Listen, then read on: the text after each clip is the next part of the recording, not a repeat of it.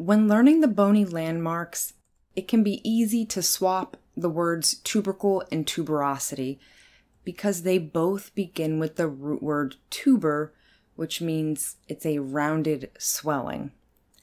And they're both bony projections where muscles are attaching to bone. However, we use tubercle when we're talking about a small rounded projection. On the humerus, you have the greater tubercle and lesser tubercle. They're both small rounded projections where muscle is attaching. And on the femur, there's this itty bitty little bump.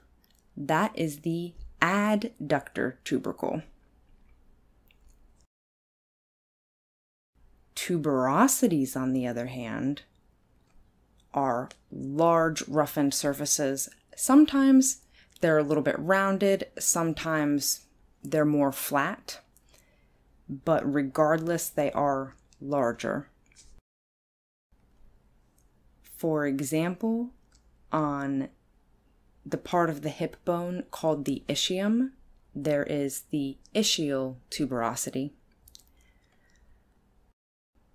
On the back of the femur, this large roughened surface where some butt muscles are attaching is the gluteal tuberosity. And on the radius, this would be the radial tuberosity.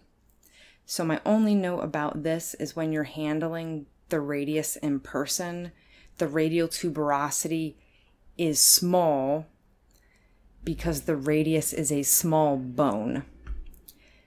So I think they went with tuberosity because comparatively to the size of the radius, it is large.